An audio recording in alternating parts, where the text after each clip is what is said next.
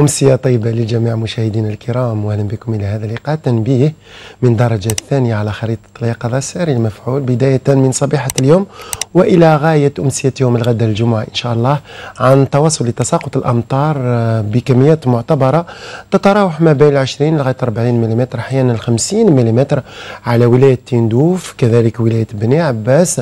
الأمطار ستلتحق حتى على منطقة الصورة تحت وقع رعود بينما على الواجهة الشمالية بعد انقشاع الرطبة مع نسبة رطوبة عالية على الواجهة الساحلية الوسطى والشرقية في الأجواء تبقى مغاشاة على السواحل وكذلك المرتفعات والهضاب مع هبوب رياح قوية على الواجهة الساحلية الغربية تصل لغاية 50 كم في الساعة حتى على ولاية تندوف كذلك الصحراء الوسطى إلى غاية أقصى الجنوب, أقول مثيرة لزوابع رملية. خلال ليلة اليوم وخاصة صباحة الغد درجة واحدة دون الصفر على سطيف وحتى على باتنا.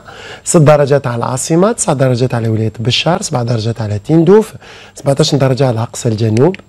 أما خلال ظهيرة الغد ارتفاع لدرجات الحرارة تقريبا على كافة المناطق الشمالية ستفوق المعدل الشهري خاصة على الواجهة الغربية. ننتظر مقاييس ما بين 24 درجة إلى غاية 25 درجة على كل من تلمسان عين تيموشنت مستغان ووهران 14 درجة على السعيدة.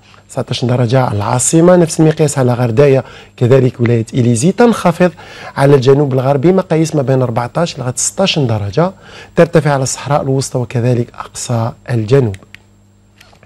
أما البحر خلال آه، أقول خلال يوم الغد يبقى بحول الله هادئ على السواحل الشرقية رياح ضعيفة لكن قليل اضطراب على السواحل الوسطى مع رياح معتدلة بينما بحر مضطرب مع رياح قوية تصل لغاية 50 كم في الساعة وهذا على الواجهة الغربية.